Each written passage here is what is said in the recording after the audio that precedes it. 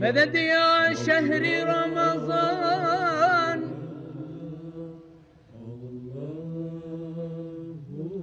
Merhaba ey şehri Ramazan. Merhaba Merhaba.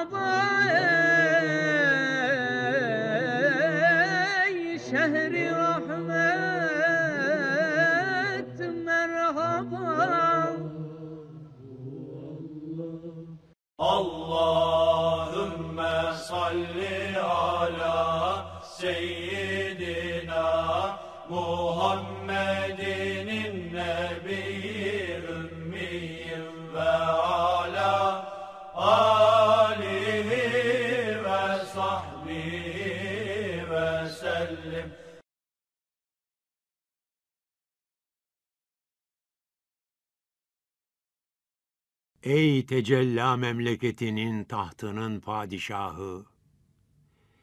Senin köşkün felektir, dayandığın kürsüde arş-ı aladır. Ey Resullerin şahı! Yolların ışığı, herkesin hidayetçisi, dena makamının şahini, fethedella mertebesinin kuşu, senin Miraç gecenin vasfından ve necm bir örnektir. Yasin senin mührün ve kaşendir. Fetehna senin bayrağındır. Ve Leyli'den gaye alnında bulunan saçlarınla yemin etmektir. Ey gönülleri süslendiren lamba! Ve şemsi de aya benzeyen yüzün ile yemin etmektir. Hamim tacındır senin. Müzzemmil ise kıymetli cübbendir. Halin elem neşreh lekedir. Lakabın ise tahadır. Boyun müddessir arkının kenarındaki selvidir. Mihraba benzeyen iki kaşın, Kabe Kavsen ev Edna'ya işarettir. Felek sana bir çöl ve meydandır. Ay ile güneş atının ayağının malıdır. Mülkün ise denizden ufkun en yükseğine kadardır. Boyuna layık olan hediye, levlak ve leamruk hediyeleridir. Senin kapıcıların Yusuf, Zülkifl ve Mesih aleyhümüsselam'dır. Göktekilerin Adem'e doğru olarak Allah'a secde etmeleri, Adem'in alnında senin nurundan alametler olduğu içindir. Yusuf peygamberin yıldızı senin bedrinden ışık aldığı için onun yüzündeki parıltılar Züleyha'nın canına ateş saldı. Seni arayan ruhullah, sana ağlayan Yakup'tur. Sana hayran olanlar ise Yahya, Şuayb ve Zekeriya'dır. Niçin Safi meleklere secdegah oldu, ona doğru secde edildi? Çünkü sen bir inci gibi Adem ve Havva'nın sedefinde bulundun. Ve mübarek parmağının bir işaretiyle perdelerin en üstünü olan yeşil gök kubbesindeki ay bir ekmek misali bölündü ikiye.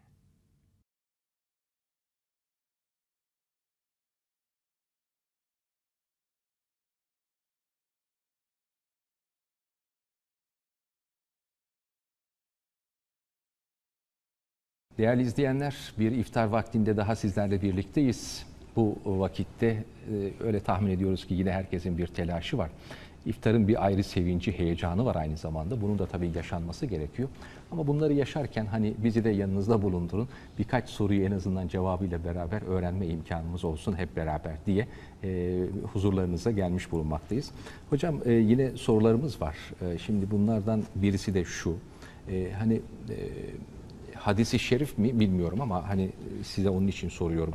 E, gıybet etmek orucu bozar gibi yalan söylemek orucu bozar gibi böyle bir şey hatırlıyorum. E, Bu, bu ne demektir? Yani e, işte yalan söylemek denebilir, gıybet etmek denebilir, başka bir günah işlemek denebilir. Bunların orucu bozuyor olması ne demek? Ya da bu hakikaten bozuyor mudur yani? Şimdi bu konuda hadis-i şerif var Mustafa Bey. Demin de ifade ettiniz. E, gıybet orucu bozar. Bozar, evet. Ve kalmıyor. Devam ediyor. Uzun bir hadis-i şerif. Gıybet etmek. Nemime. Ne demek? Söz taşımak. Söz taşıma. Yalan söylemek, yalan yere yemin etmek ve kendisi e, yabancı kadına aynı şekilde namahreme şehvetle bakmak gibi şeyler orucu bozar. Buyuruluyor. Hatta e, mesela bu hadis-i şerifi naklederken ehl-i sünnet alimleri o orucu bozar ifadesine nafile orucu ifadeni, ifadesini koymuşlar. Nafile orucu. Farz orucunda sevabını giderir diye açıklamışlar. Nafile orucu ya Allah rızası için oruç tutuyorsun. Yani emir değil, farz değil. Ben diyorsun bir oruç tutayım. E tutuyorsun. Ondan sonra harama bakıyorsun. Ey bakalım falan Ahmet'i gördüm bugün sana neler neler demedi ki. Hayda. Şimdi niye tutuyorsun bu orucu o zaman? Niye tutuyorsun o zaman bu orucu? Ve, e, Bu orucu bozuluyor. Bozar, bozar diye geçiyor. Yani alimlerden bazıları bu nafile orucu bu şekilde aynı şekilde böyle nafile Allah rızası için tutunan oruçta gıybet etmek, nemime ve benzeri aynı şekilde yalan söylemek, yalan yere yemin etmek, harama bakmak bunlar nafile oruçları götürür. Farz olan orucun da sevabını götürür buyuruyor. Mesela İmam Azam Ebu Hanife Hazretleri gıybet orucu bozar. Buyuruyorlar ki sıhhatini değil, sevabını bozar. Ama o da kötü bir şey. Yani Kötü biz bir ne şey için tabii. oruç tutuyoruz ki? Sevap kazanmak için. Ya sabahtan akşama kadar aç kalmışsın. Ahirette diyecekler ki sen oruç tutmadın demeyecekler. Ama ücret dünyada yedin diyecekler kusura bakma. Yani gıybet ettin, dedikodu ettin, yalan söyledin ve yedin. Yalan, gıybet, nemime yani Müslüman arasında söz taşımak, yalan yere yemin etmek gibi şeyler orucu bozmazlar ama sevabını giderirler diye de açık açık yazmışlar efendim. Evet. Şöyle bir sorumuz var hocam şimdi de. Ee, belki siz de duydunuz bilemiyorum. Ee, Ramazan'ın ilk günü orucunu tutmayan ondan sonraki oruçları tutması gerekmez, kabul olmaz gibi bir şey söyleniyor. Var mı böyle bir şey? Böyle bir şey söz konusu değil. Yani sabah namazına kalkamadı. Yani bugün öbürleri de kılma. Öbürleri de kılma. Der gibi bir şey yani bu. Der gibi bir şey. E şimdi Ramazan ayının her günü oruç tutmak farzdır. Her günü Ayrı ayrı. ayrı ayrı farzdır. Kime?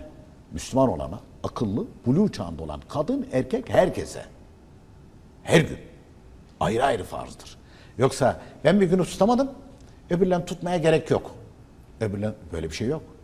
Bu tamamen cahillerin uydurduğu bir sözdür. Aslı faslı söz konusu değil. Ee, çünkü İslam'ın dördüncü şartı Ramazan-ı Şerif ayında her gün oruç tutmaktır diye geçiyor. Ramazan ayında her gün muhakkak oruç tutmalıdır. Olur olmaz sebeplerle bu mühim farz elden kaçırılmamalıdır. Çünkü Peygamber Efendimiz Aleyhisselatü Vesselam bir hadis-i şeriflerinde oruç mümini cehennemden koruyan bir kalkandır. Cehennemden koruyan kalkandır buyuruyor. E sen de diyorsun ki ben başında tutmadım ondan sonra hiç tutmayayım. Yani cehenneme gideyim diyorsun. Ama tercih insana bırakılmıştır. Herkes tercihini kendi kullanır da ama o ifade, o söz yanlış. Cahillerin sözü. Eğer bunu aynı şekilde cahiller kendi kafasına göre uydurmadıysa din düşmanları kasıtlı olarak cahillerin arasında yaymışlardır bunu. Bunlara itibar etmemeli. Diyelim ki birini, e, ikiyi yakalayamadın ama üçünü, dördünü, beşini, öbürlerini de Ramazan-ı Şerif'ten sonra kaza edeceksin. Öbürsünde kaza edeceksin, tutamadıklarında kaza edeceksin. Yani tuttuğumu tuttum, tutamadığımı aynı şekilde kaldı öyle, öyle bir şey değil. Öyle bir şey değil. Namaz da böyledir, oruç da böyledir, zekat da böyledir, kurban da böyledir. Kendi vakti gelince bunlar farzdır. O vaktinde bunlar icra edilemediyse vakti çıktıktan sonra namazda kaza edilir, oruçta kaza edilir, zekat yine verilir, kurban aynı şekilde bedeli ödenir. Bunlardan kurtuluş yok. Muhakkak yerine getirilmesi lazım. Hocam zekatla alakalı bir sorumuz var. Şimdi e, bizde zekat verecek olan bütün müminler mutlaka biliyorlar bunu da. Zenginlik ölçüsü olarak 96 gram altın ve bunun karşılığı mal e, olan zengin oluyor. Bunun altındakiler fakir oluyor. Şimdi diyelim ki e, sıfır lirası var, sıfır gram altını var. Yani öyle bir fakirden bahsediyoruz. E, Hiçbir şeysi yok. Hiçbir şeysi yok yani. Böyle bir fakire zekat verirken tutsak 100 gram zekat versek olur mu? Yani o çünkü 96'yı geçmiş oluyor, zengin Doğru, oluyor. Zengin oluyor. Şimdi Mustafa Bey kitaplarda anlatırken fakirin hiç olmasa bir günlük ihtiyacını karşılayacak, karşılayacak kadar vermek müstahaptır. Ya bak zekat veriyorsun. Yani birçok kimseye vereceksin. Ee, ya buna da vereyim buna da vereyim. 10 tane fakire zekat vereceksin mesela. Ama bunlara verirken hiç olmasa bir günlük ihtiyacını karşılayacak kadar vermen lazım. Bir günlük ihtiyacını karşılayacak kadar. E şimdi mesela şeyler e, altın olarak veriliyor. E, 0.5 gram altın var mesela. Yarım gram. Yarım gram altın var. E şimdi yarım gram altın versen o günlük aynı şekilde ihtiyacını temin edebilir bu. Yarım gram altın bile onun ihtiyacını temin edebilir, verebilir. Yani en azından bu kadarcık vermek müstahaptır. Peki fazla verilebilir mi? Fazla. Borcu olmayan ve çoluk çocuğu bulunmayan fakire nisap miktarı veya malını nisap miktarına tamamlayacak kadar vermek mekruhtur diye geçiyor mekruhtur. Çoluk çocuğu olan fakire bunların her birine bölünce nisap miktarı düşmeyecek kadar çok zekat vermek caizdir. Şimdi orada iki tane şey, şey çıkıyor. Bir, bunun çoluk çocuğu var. Kendi fakir, hanımı fakir, iki tane çocuğu var onlar da fakir. E şimdi ee, 90 gram hesap etsen her birine 4 9 36 360 400 gram neredeyse bunlara altın verebilirsin. Her bir hanımına, çoluğuna, çocuğuna vekalet almış olsa bunların adına bu zekat alabilir bunlar. Veya bu hem fakir hem de borcu var. Mesela 300 gram borcu var diyelim. Sen de aynı şekilde e, buna e, 350 gram, 390 gram diyelim. Zekat verebilir misin? Verebilirsin. Niye? Borcu var. Sen de biliyorsun onu. E, Böylece hem zekatın yerine bulmuş oluyor, bir sevap alıyorsun. İki, bir de bunu borçtan kurtarıyorsun. O daha da sevaptır. Peki e, verilecek olan zekatın veya işte altın olarak vereceksek e, fakirin veya vekilinin eline geçmesi gerekiyor mu? Şimdi sanal bir zamanda yaşıyoruz biliyorsunuz hani sanal olarak bu iş halledilir mi? Şimdi Mustafa Bey Konya'da çok sık kullanırlardı. Şimdiki şimdikiler belki bilmezler. De Akşehir'de helva var babayın canına değilsin derler tamam mı? E, Şimdi Akşehir ile Konya arası e, e, 180 kilometre yakın yani mesafede. Öyle Akşehir'de helva var babayın canına değilsin. Aa ben sana zekat verdim. Nerede? Nerede? Yok ortada yok. Fakirin eline geçecek veya fakirin vekilin eline mutlaka geçmesi lazım. Yani temlik etmesi lazım ona. Evet. E peki efendim öyle değil de mesela ben e, o bana e, yahut da benim yanımda birisine vekalet verdi. Ben altınla ona devrini yaptım. Onun hesabı vardı. Onun hesabına aynı şekilde ben tuttum kendi hesabıma pat diye Pa- geçirdim. para olarak. Ha, onun hesabına geçti. Ama o vekalet verdi altınla da ben, bitti o zaman. O zaman olur. Peki efendim çok teşekkür ediyoruz. Sevgili izleyicilerimiz bugün de bize ayrılan sürenin sonuna geldik. Yarın yine sizlerle birlikte olacağız. Hepinize hayırlı iftarlar diliyoruz. Hoşçakalınız. Alemlerin nura gark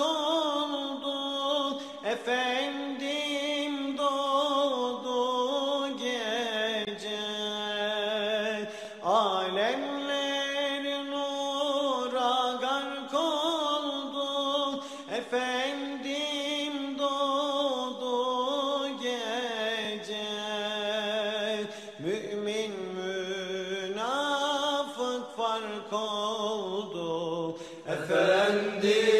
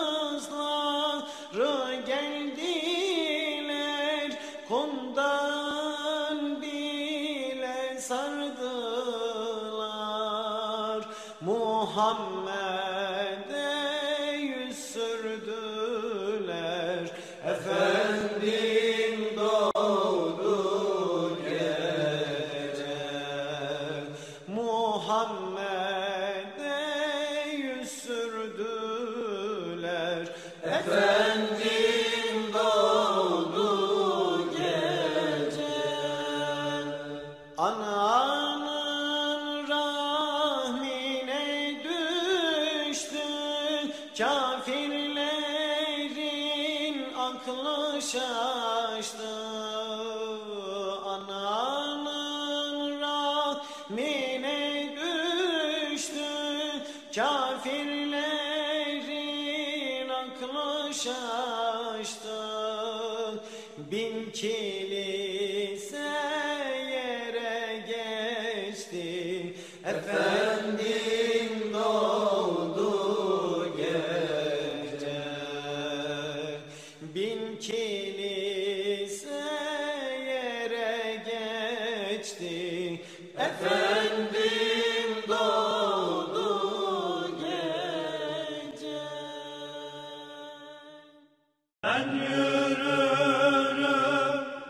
Asım bin Sabit Hazretleri radıyallahu an İkinci bölüm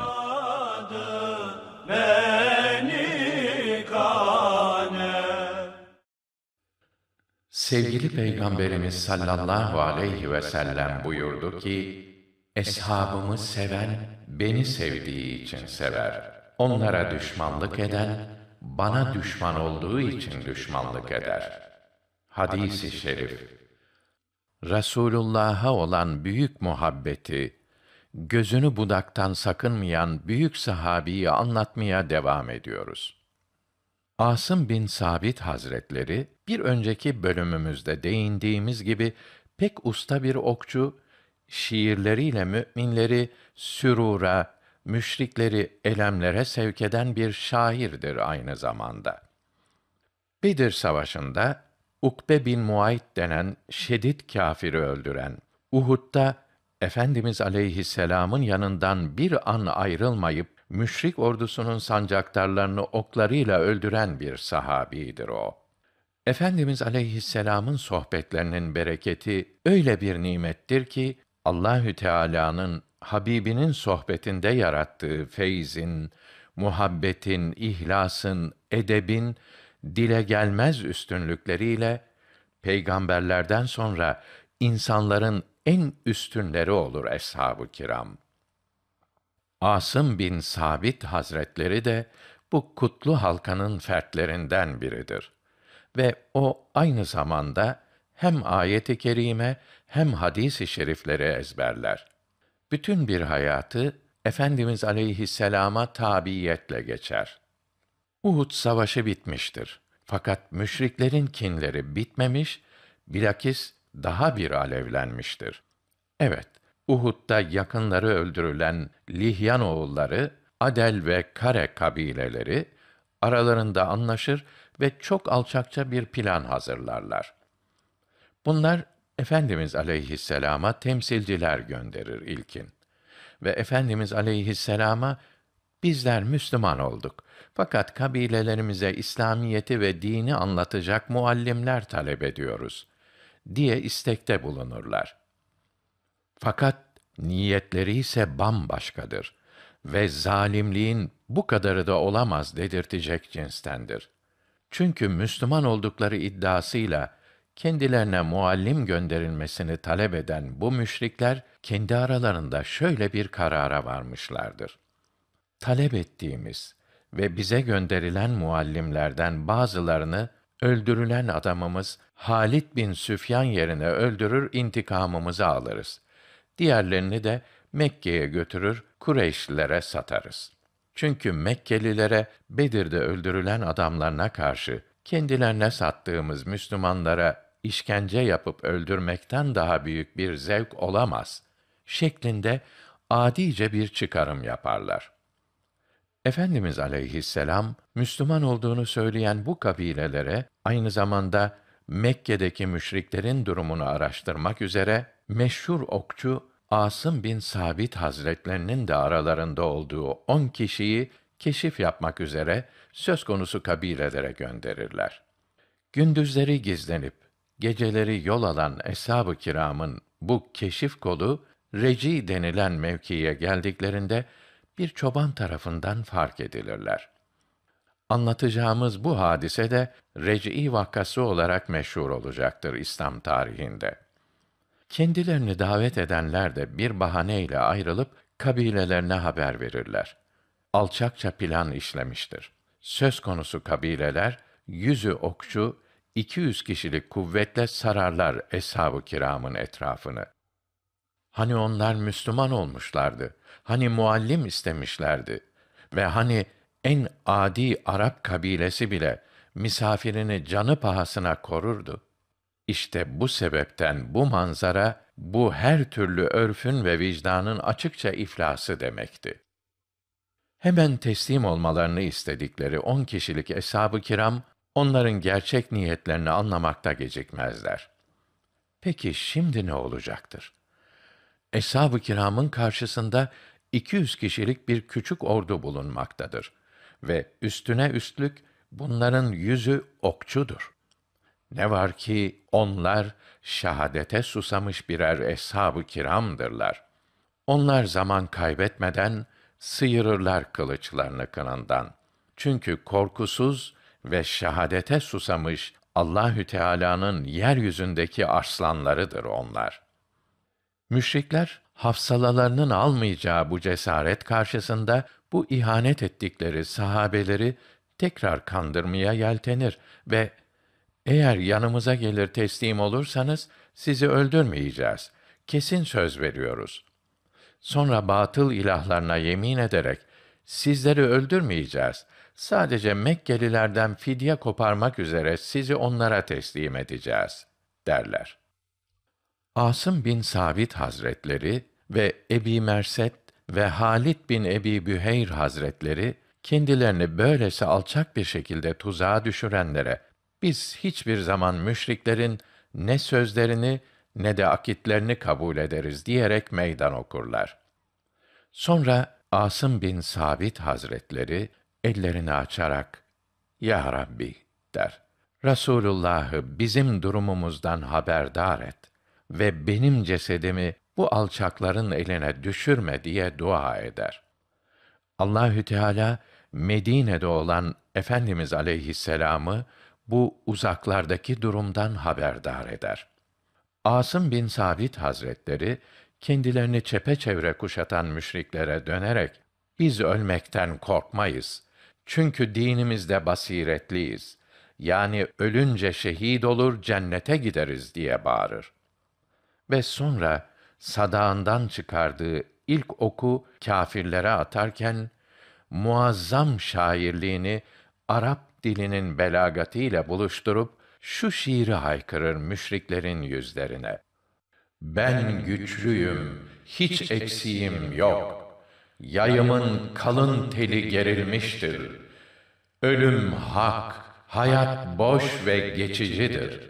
Mukadderatın hepsi başa gelicidir. İnsanlar er geç Allah'a dönecektir. Bundan sonra Asım bin Sabit Hazretleri yedi okun her biriyle bir kişiyi bertaraf eder. Fakat müşrikler iki yüz kişidirler. Bitince oklar mızrağını kullanır. Mızrak kırılınca davranır kılıcına sonra. Manzara hakikaten tam bir kahramanlık tablosudur ki 200 kişiye karşı 10 kişi. Yani her mümine 20 düşman. Fakat bir zaman sonra on mü'minden yedisi şehit olmuştur. Ve bunlar arasında Asım bin Sabit Hazretleri de vardır. Müşrikler onun yaralı halinden bile korkar, oklarla uzaktan vurarak şehit ederler büyük kahramanı. Fakat Asım bin Sabit Hazretlerinin kafasını kesmek isteyince buna muvaffak olamazlar. Çünkü onun çarpışma öncesi ya Rabbi, bedenimi bu alçakların eline düşürme duası kabul olmuştur. Allahü Teala nereden geldiği belli olmayan bir arı sürüsü gönderir ki onlar muazzam muhafızlar olarak korurlar Asım bin Sabit'in mübarek vücudunu. Bu durum sonradan onun arıların koruduğu kimse olarak anılmasına sebep olacaktır ileride. Bundan bir ibret almayan kör kalpli müşrikler geceyi beklerler. Asım bin Sabit Hazretlerinin kafasını kesip kendilerine yüz deve vaat eden müşrik kadına götürmek için.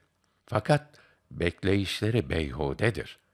Çünkü gece olunca yine o büyük şehidin dualarının neticesi olarak bir rahmeti ilahi boşanır gökyüzünden.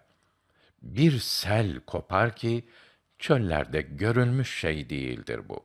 Ve bu alır götürür Hazreti Asım'ın bedenini bilinmeyen bir yere. Sevgili Peygamberimiz sallallahu aleyhi ve sellem buyurdu ki, Eshab ve akrabamı sevip peygamberlik hakkımı koruyanları Allahü Teala dünya ve ahirette zararlardan korur. Onları incitenlere de azap eder. Hadis-i şerif. Ben yürürüm yane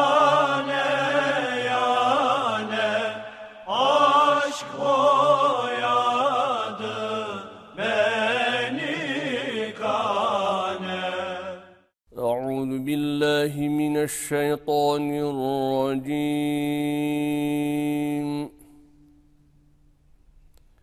بسم الله الرحمن الرحيم.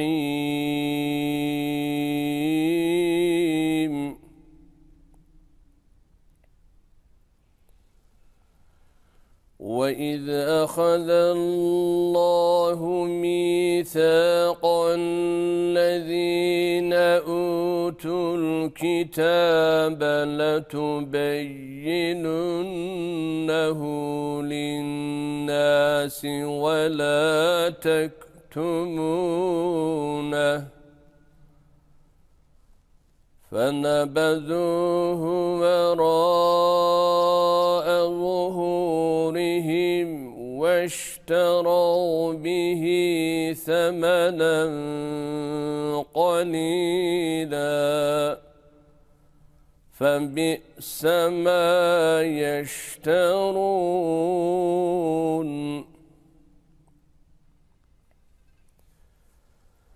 لا تحسبن الذين يفرحون بما أتوا ويحبون أن يحمدوا بما لم يفعلوا. ويحبون أن يحمدوا بما لم يفعلوا فلا تحسبنهم بمفازة من العذاب ولهم عذاب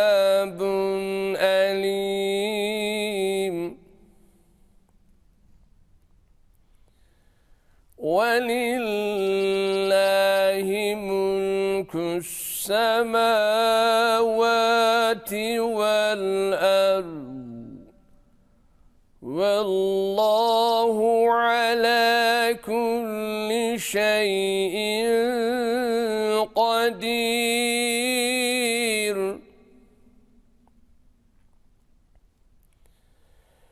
إن في خلق السماوات والأرض واختلاف الليل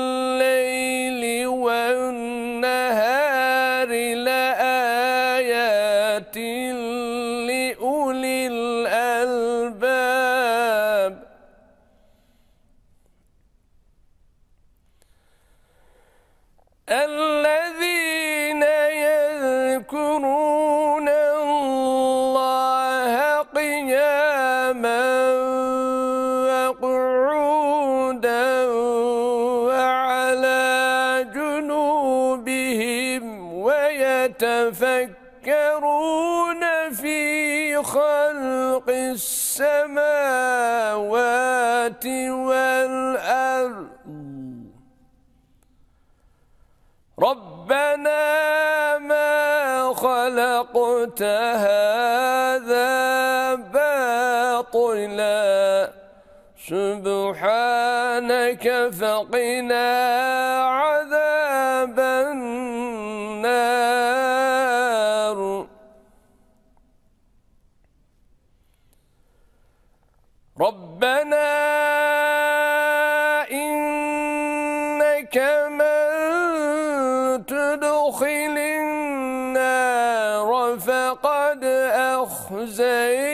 uh,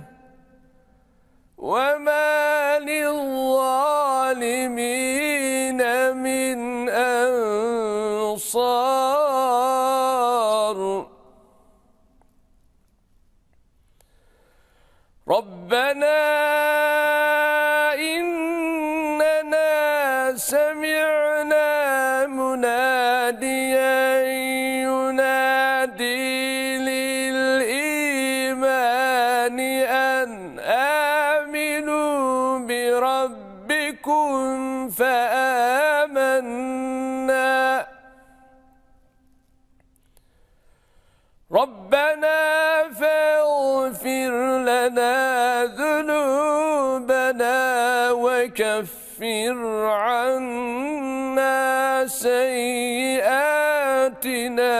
وتوفنا مع الأبرار.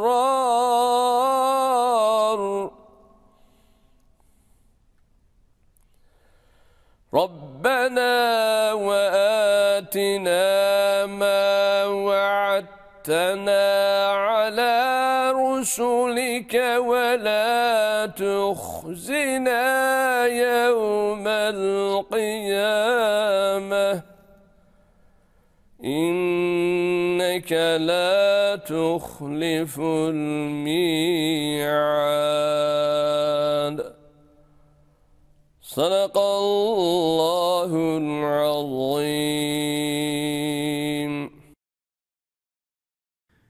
Sevgili peygamberimiz buyuruyorlar ki: Mümin Allahü Teala'nın azabının şiddetini bilseydi cenneti ümid etmez. Kafir de Allahü Teala'nın rahmetinin sonsuzluğunu bilseydi cennetten ümidini kesmezdi. Aziz izleyiciler, hatırlayacağınız üzere dünkü konuşmamızda Emir Sultan'ın gördüğü bir rüyadan ve rüyasında da Peygamber Efendimiz ile Hazreti Ali'yi yan yana oturmuş halde gördüğünden kendisinin de gidip yanlarına edeple diz çöküp oturduğundan bahsetmiştik. O rüyada Hazreti Ali Efendimizin verdiği bir talimat üzerine Anadolu'ya doğru yola çıktıklarını ifade etmiştik. Emir Sultan Medine'den yola çıkıp Bursa'ya doğru gelirken yolda bir beyin oğlu Emir Sultan'ı gördü ve kalbi ona talep olmaya meyletti. Hemen silahlarını bırakıp Emir Sultan'ın yanına gitti. Ondan kendisini talebeyle kabul etmesini istirham etti. Emir Sultan onu talebeyle kabul etti. Yolda giderlerken bir süre sonra bir yol kavşağına vardılar. Oranın yerlisi olan bir kişi yolun birinde geçit vermeyen büyük bir azman yılanın adeta bir ejderhanın olduğunu söyledi.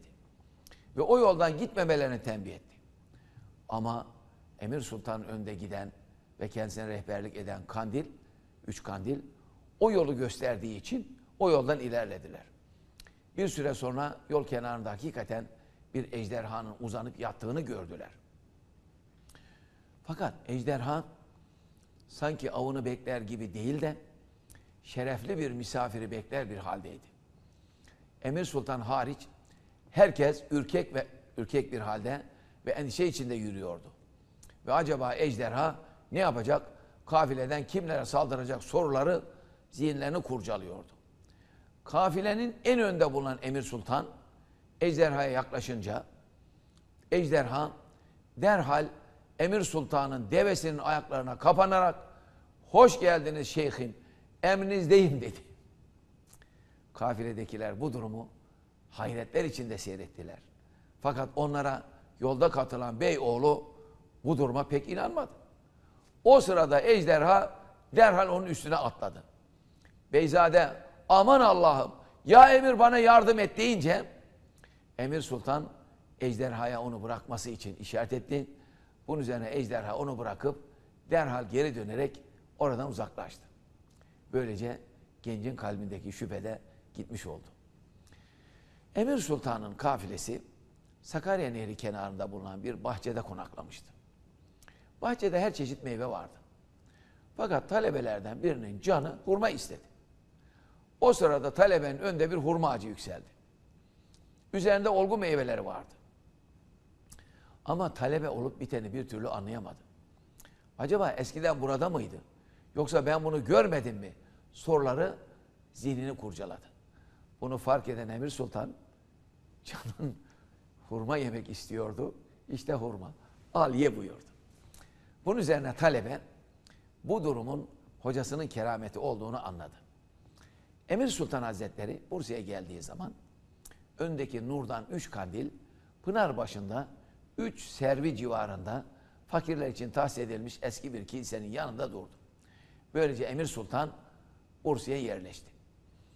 Bu sırada Yıldırım Bayezid Han Macarlarla savaşıyordu. Düşman kuvvetleri Osmanlı ordusuna büyük zayiat verdiriyordu. Bu esnada bir genç yaralıların yaralarını sarıyor, bazen de ellerini açıp dua ediyordu. Kolundan yaralanan Yıldırım Bayezid bu genç askerin gayret ve maharetle yaralarını sardığını görünce o gence karşı kalbinde bir yakınlık hasıl oldu. Yanına kadar giderek benim de kolumda yara var. Benim yaramı da sarar mısın deyince Emir Sultan cebinden bir mendil çıkarıp buyurun padişahım sizin yaranızı da bu mendil ile sarayım dedi. Sabah olunca Yıldırım Bayezid Han'a sarılan bütün yaraların iyi olduğunu, yaralı askerlerin ayağa kalktıklarını haber verdiler. Yıldırım Bayezid de merak edip kendi yarasını açarken kolundaki mendilin hanımının nişanlıyken kendisine hediye ettiği mendilin yarısı olduğunu fark etti. Akşam yaraları saran askerin yanına getirilmesini emretti. Fakat o kimseyi bulamadılar. Osmanlı ordusu daha sonra Nibolu Kalesi önlerine geçti. Nibolu Kalesi'nin fethi için günlerce kanlı çarpışmalar oldu. Kale bir türlü fethedilemedi. Hücumların en şiddetli anında daha önceki muharebede askerlerin yaralarını saran genç kale kapısını ardına kadar açtı. Yıldırım Bayezid ve askerleri kaleye girdiler. Kaledekiler bu durum karşısında teslim olmak mecburiyetinde kaldılar. Zaferden sonra bu genci aradılar. Ama bir türlü bulamadılar. Yıldırım Bayezid Han Rumeli fethinden sonra Bursa'ya gelmeyip Edirne'de konakladı. Bu sırada Yıldırım Bayezid'in kerimesi kızı rüyasında Peygamber Efendimiz'i gördü. Resul Ekrem ona oğlum Muhammed Buhari ile evlen. Sakın beni kırma ve sözümü dinle buyurdu. Temiz ruhlu, edep ve haya sahibi Hundi Fatıma Sultan rüyasını kimseye söyleyemedi. Ertesi gün yine Resul-i Ekrem'i rüyada gördü. Server-i Alem bu defa ona eğer ahirette benden şefaat etmemi istiyorsan Muhammed Buhari ile evlen buyurdu. Halbuki Hundi Fatıma Sultan'ın Rumeli Beylerbeyi Süleyman Paşa ile evleneceği söylenmekteydi. Emir Sultan zahiren fakir ve garip bir kimseydi. Hundi Sultan bu çaresizlikler içinde bunalıp dua etti. Acaba Emir Buhari'nin bundan haberi var mı dedi. Kiminle ve nasıl haber gönderebileceğini düşünüyordu. Sonra kendisi gibi edep ve haya sahibi hizmetçisine rüyasını anlattı ve durumu Emir Sultan'a bildirmesini söyledi. Hizmetçisi gidip durumu Emir Sultan'a anlatınca o bizim de malumumuzdur. Nikahımız Allahu Teala tarafından emredildi. Dinimiz üzere burada da kıyılması gerekir. Durumu Hundi Fatıma Sultan'a iletin dedi. Bunun üzerine Emir Sultan dünürler gönderip sultanın kızını istedi. Fakat Valide Sultan kızını vermek istemeyip işi zora sürerek dünürlere Emir Sultan'a söyleyin. 40 deve yükü altın getirirse kızımı veririm dedi. Emir Sultan Hazretleri de Sultan Validemiz develeri göndersinler. isteklerini yerine getirelim. İstediği altınları gönderelim deyince sarayı bir telaş aldı. Bu işe kimsenin aklı ermedi. böyle fakir bir dervişin 40 deve yükü altını nasıl vereceğini şaşkınlıkla karşıladılar. Saraydan 40 deveyi Emir Sultan'a götürdüler. Emir Sultan develerle birlikte Nilüfer çayının kenarına gitti. Develeri getirenlere heybeleri bu kumlarla doldurun. Sizler de istediğiniz kadar alın, aldığınız altın olsun buyurdu. Kimisi şüphe ederek bir şey almadı. Kimisi de heybeleri ve keselerini doldurdular. 40 deveden meydana gelen kervan saraya girince Emir Sultan boşaltın istediğiniz altın olsun dedi. Heybeler boşaltılınca hepsinin altın olduğu görüldü. Kimi kendisi içinde almadığı, kimisi de yolda aldıklarını döktüğü için çok pişman oldu. Emir Sultan ile Hundi Fatıma Sultan'ın evlenmelerine karar verilince Fatıma Sultan kendi el işlemesi gömlek ve çamaşırları harem ağası ile Emir Sultan'a gönderdi. Emir Sultan Bohça geldiği zaman bir odada mangal yakmış talebeler sohbet etmekteydi. Harem ağası içeri girip bu bohça valide sultandan hediye diyerek bohçayı Emir Sultan'a verdi. Bohçayı bir kenara bırakan Emir Sultan onların sıhhat ve afiyetleri için dua etti. Sonra bohçayı açıp içinden bir mendil aldı.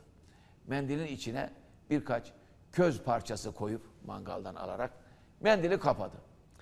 Tebessüm ederek harem ağasına valide sultana selam söyleyiniz. Biz fakir dervişlerin sultanlara hediyesi ancak böyle köz parçaları olur. Kabul etmelerini arz ederim dedi. Harem ağası herkesin şaşkın bakışları arasında oradan ayrıldı. Yolda giderken mendilin yanıp yanmadığını merak etti. Fakat mendilden duman bile çıkmıyordu. Saraya kadar kendisini zor tuttu. Yolda aşması mümkün değil tabii. Hediyeyi valide sultana teslim etti. Mendil sarayda olanların merakları arasında açıldı. Mendilin içinden ateş taneleri değil, gözleri kamaştıran elmas parçalarının çıktığı görüldü. Bu durumun Emir Sultan Hazretleri'nin kerameti olduğu anlaşıldı. Dünkü ve bugünkü konuşmalarımızda Emir Sultan'ın bazı kerametlerinden bahsettik. İnşallah yarın kerametlerle ilgili bazı bilgiler arz edelim efendim. Güllere vurgunum, güllere sevdalı Bana güller derin, kırmızı güller verin Kan rengi hüzünlü şehit edalı. Bana güller derin, kırmızı güller verin. Güller ağlar bana bu derdi güller anlar. Bana güllerimi güllerimi verin. Gül yüzlü şehadet gülleri derin kokulu yare yare gönderin Ölsem ölsem yine dirilsem derim bana güller derin, kırmızı güller verin. Güller ağlar bana, bu derdi güller anlar bana. Güllerimi, güllerimi verin. Gün olur yaprağı düşer güllerin Bu can ten evinden çıkar giderim. Sevdam güle döner ben de gülerim. Bana güller derin kırmızı güller verin. Güller ağlar bana bu derdi güller anlar. Bana güllerimi güllerimi verin Güller ağlar bana. Bu derdi güller anlar bana. Güllerimi güllerimi verin. İmam-ı Rabbani Hazretleri 6. Bölüm. Büyük velilerin bile sığınağı olan İmam-ı Rabbani Hazretlerine kuddise sirruh Allahü Teala'nın vermiş olduğu kerametlerden biri de bir anda çok uzak mesafeleri kat etmek şeklindedir ki bir seveninin imdadına yetişmesi şöyle olmuştur. İmam-ı Rabbani Hazretleri bir gün talebelerinden birine başka bir şehirde olan kardeşine iletmesi için bir mektup verir. 2000 yılının müceddidi büyük veli bu talebesine şöyle nasihatte bulunur. Ey oğlum, yola çıkarken Kureyş suresini muhakkak oku ki tehlikelerden muhafaza olunasın. Eğer yolculuk sırasında çok zor bir duruma düşersen bizi hatırla, bizi çağır imdada. Talebe baş üstüne deyip vedalaşır ve ayrılır şehirden. Varılacak menzil Surunç denilen belde emanet Azizler Azizi İmam-ı Rabbani Hazretlerinin mektubudur. Talebe çıkar yola bir kafileyle. Bir zaman sonra Surunç denilen mevkiye birkaç saatlik bir mesafe kalmıştır. Fakat bu mesafe kızgın bir çöl, meşakkatli bir yolculuk demektir. Yorulan kafile biraz dinlenmek üzere bir mola verir. Talebe yanındaki kafileden abdest tazelemek üzere ayrılır. Tenha bir yere gider. Abdestini tazeledikten sonra iki rekat namaz kılmak üzere kıbleye yönelir. O sırada hiç beklemediği ve hakikaten korkutucu bir durumla karşılaşır. Çünkü o talebe sığınacak hiçbir yer olmayan, kendisini müdafaa edecek hiçbir şey bulunmayan kızgın çölün ortasında bir arslanla göz gözedir şimdi ve zahiren yapılacak bir şey kalmamıştır. Aslında kendisini bu arslandan korumak için bir şahsi müdafaa imkanı kalmamış fakat hakikatte müdafaanın ve bu tehlikeli durumun üstesinden gelebilecek her şeye sahiptir o talebe. Arslan kendisine yaklaşmaktayken hocasının eğer sıkıntılı bir durumla karşılaşırsan bizi hatırla, yardım iste. Emirleri gelir aklına. İmanı, itikadı ve hocasına olan inancı tam olan bu talebe, ey hocam, ne olur yardımıma gelin ve beni bu arslanın pençeleri arasında helak olmaktan kurtarın diye imdad ister. Talebe daha sözlerini bitirmemiştir ki İmam-ı Rabbani Hazretleri birden görünür ve mübarek eliyle arslana buradan git diye işaret eder. Arslan bir munis dosta dönüşür ve eğer başını hemen akabinde edepli adımlarla terk eder orayı.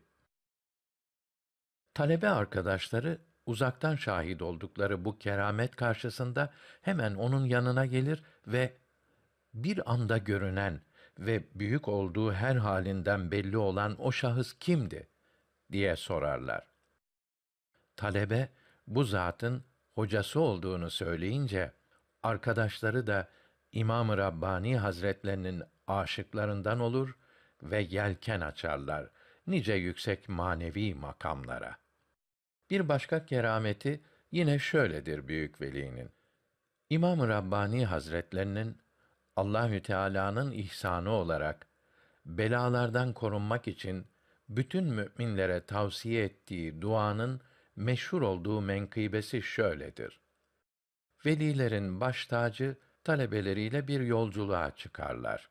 Bir süre yol aldıktan sonra bir kervansarayda gecelemek üzere orada konaklarlar. Müceddidi Elfisani Hazretleri dinlenmeye çekilmekte olan talebelerine aniden şu uyarıyı yapar.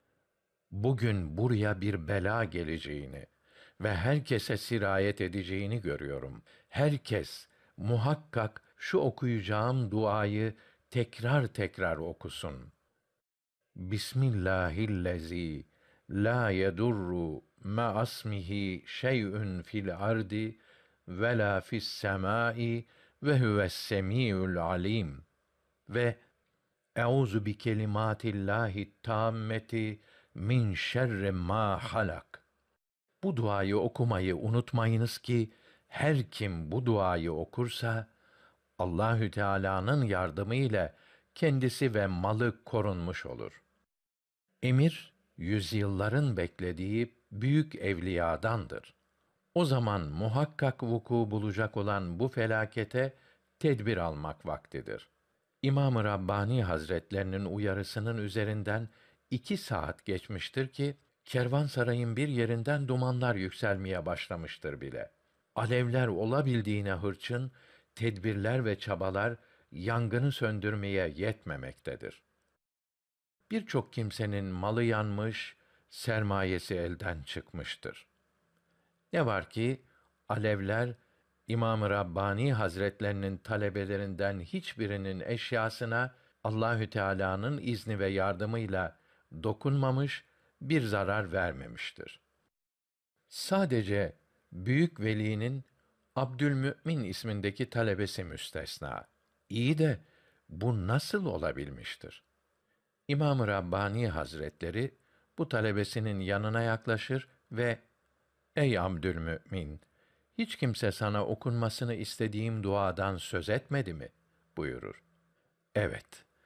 Takdiri ilahi arkadaşları bu talebeye İmam-ı Rabbani Hazretlerinin emrettiği duayı söylemeyi unutmuşlardır. Bin yılda bir gelen büyük evliyadan olan İmam-ı Rabbani Hazretleri buyurdu ki, Dünyayı ele geçirmek için ahireti vermek ve insanlara yaranmak için Allahü Teala'yı bırakmak ahmaklıktır. Salih ameller İslam'ın beş şartıdır. Salih amelleri yapmadan kalp selamette olmaz. Annenin yavrusuna faydası olmadığı, annenin yavrusundan kaçacağı kıyamet günü için hazırlık yapmayana yazıklar olsun. Eshab-ı Kiram aleyhimür rıdvan Allahü Teala'nın arslanı, sevgili peygamberimizin dördüncü halifesi, Hazreti Ali radıyallahu anh. İlk Müslüman çocuk, büyük yardımcı. Sevgili Peygamberimiz sallallahu aleyhi ve sellem buyurdu ki, Ali'ye muhabbet bana muhabbettir. Bana muhabbet Allahü Teala'ya muhabbettir. Ali'ye düşmanlık bana düşmanlıktır. Bana düşmanlık ise Allahü Teala'ya düşmanlıktır. Hazreti Ali kerramallahu veçe alemlerin efendisi sevgili peygamberimiz sallallahu aleyhi ve sellemin Nuh aleyhisselamın gemisi gibidir. Binen kurtulur, binmeyen helak olur buyurdukları Ehli Beyt'in birincisi, Resulullah'ın dördüncü halifesi ve damadı, cennetle müjdelenen on kişinin dördüncüsü, ilk Müslüman olanların üçüncüsüdür. Efendimiz aleyhisselamın kimleri önce İslamiyete davet edeceği konusunda nazil olan Şuara suresi 214. ayetinde ilk emir şöyle olacaktır. Cenab-ı Hak mealen şöyle buyurur Kur'an-ı Azimüşşan'da Habibine. En yakın hısımlarını, akrabanı Allahü Teala'nın emirlerini duyurma konusunda, öğretme konusunda ikaz et. Onlara akıbetlerini bildir. Şeklinde emir buyurunca Efendimiz aleyhisselam akrabasını toplar. Onları dini İslam'a davet ederler. Fakat Ebu Leheb olmadık hakaretler ve sözler sarf eder. Ebu Leheb'in kendisi gibi bütün akrabalarını da ebedi felakete davet eden bu alçakça sözleriyle oradakiler kalkar ve giderler. İşte burada da hakaretler ve tehditler savuran akrabanın arasında Efendimiz aleyhisselamı hakkıyla savunan ve yanında olan yine Hazreti Ali radıyallahu anh'tır. Davet yarım kalmış, Efendimiz aleyhisselam emredilen yakın akrabayı davet işini yapamamıştır. Kısa bir zaman sonra Resulullah aleyhisselam tekrar Hazreti Ali'yi çağırır. Evet, yakın akraba tekrar davet edilecektir. Davete icabet eden Efendimiz aleyhisselamın yakın akrabaları toplanırlar. Kendisini dinleyen akrabalarını Allahü Teala'nın emrine binaen dini İslam'a davet ederler. Buyururlar ki: Sizi bir olan ve ondan başka ilah olmayan Allahü Teala'ya iman etmeye davet ediyorum. Şüphesiz ki ben size ve bütün insanlığa peygamber olarak gönderildim. Allahü Teala'ya yemin ederim ki sizler uykuya daldığınız gibi ölecek, uykudan uyandığınız gibi de dirilecek ve bütün yaptıklarınızdan hesaba çekileceksiniz. İyiliklerinizin karşılığı olarak mükafat görecek, kötülüklerinizin karşılığında ceza göreceksiniz. Bunlar ya cennette ebedi kalmak veya cehennemde ebedi kalmaktır. İnsanlardan ahiret azabıyla ilk korkuttuğum sizlersiniz. Kısa bir sessizlikten sonra o hep Efendimiz aleyhisselamı koruyup kollamış olan Ebu Talip olumlu konuşur. Fakat Efendimiz aleyhisselamın ondan beklediği cevap bu değildir.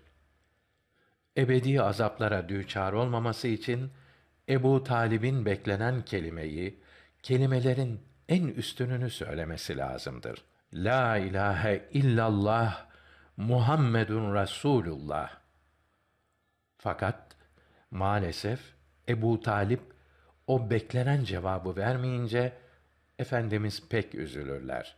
Çünkü Ebu Talip buna hazır olmadığını, böyle bir şey yapamayacağını nazik bir dille söylemiştir. Bu arada herkes ilk davette demediğini bırakmayan Ebu Leheb'in ne söyleyeceğini merak etmektedir. Ruhunu şeytana satmış bir insandan beklendiği üzere şöyle der Ebu Leheb. Ey Abdülmuttalip oğulları! Buna inanmayın. Bunu durdurun. Mani olun. Onun söylediklerini kabul etmek, zilleti, hakareti kabul etmektir. Sonra kendi akrabalarını, davetli olduğu bir evde küstahça tehdit etme cüretinde bile bulunur. Onu korumaya çalışırsanız hepiniz öldürülürsünüz. Bu tehdit bardağı taşıran son damladır. Kadın olmasına rağmen Efendimiz aleyhisselamın halası cesurca kardeşi Ebu Leheb'e karşı koyar.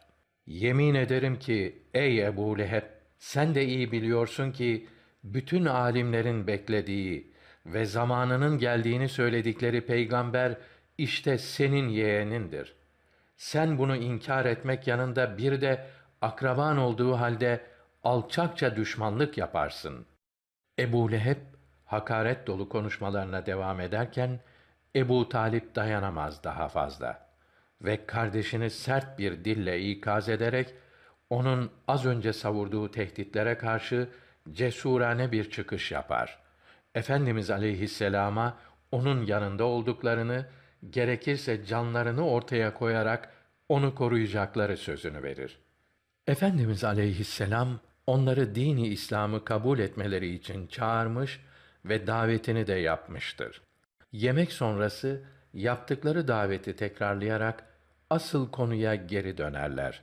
Akrabalarına hayale gelmez, bir anına bile tahammül edilemeyecek gazabı ilahiden kurtarmak için pek güzel bir şekilde şöyle tekrarlarlar davetlerini. Ey Abdülmuttalip oğulları! Vallahi Araplar içinde benim size getirdiğim dünya ve ahiretiniz için hayırlı olan şeyden daha üstününü ve daha hayırlısını kavmine hiç kimse getirmemiştir. Ben sizi söylemesi kolay, mizanda ağır gelen iki kelimeyi söylemeye davet ediyorum. O da şudur ki Allahü Teala'dan başka ilah olmadığına ve benim onun resulü olduğuma şehadet etmenizdir. Sizlere olan bu hak dine davetim Allahü Teala'nın bana emrettiği bir husustur. Kısa bir duraklamadan sonra Efendimiz aleyhisselam kendisini dinleyen akrabalarına şöyle sorarlar. Şimdi kim benim davetimi kabul edip bu yolda bana yardımcı olur?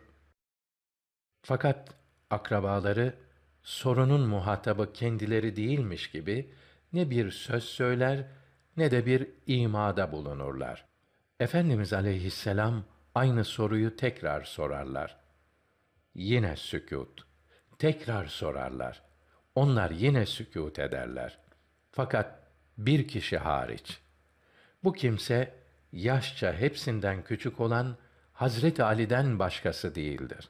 O yaşından beklenmeyen bir olgunlukla bütün akrabalarını karşısına almak pahasına Efendimiz aleyhisselama döner ve Ya Resulallah ben buradakilerin yaşça en küçüğü olsam da sana yardımcı olurum diye arslanlar gibi kükrer.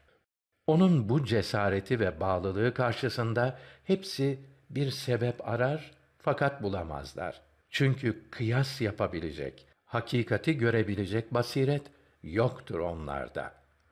Efendimiz aleyhisselam pek üzgün bir şekilde Hazret Ali'nin elinden sıkıca ve muhabbetle tutar ve ayrılırlar oradan. Bu Hazret Ali'nin çocukluğundaki kahramanlıklarından ve üstün hallerinden sadece biri olarak geçer tarihlere. Sevgili Peygamberimiz buyuruyorlar ki, Ramazan ayında oruç tutmayı farz bilip, sevabını da Allahü Teala'dan bekleyerek oruç tutanın günahları affolur. Ramazan orucunu tutup ölen kimse cennete girer. Ramazan ayı gelince ey hayır ehli hayra koş, şer ehli sen de kötülüklerden el çek denir.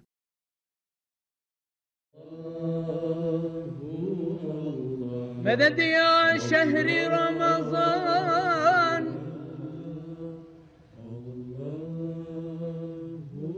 Merhaba ey şehri Ramazan merhaba merhaba ey şehri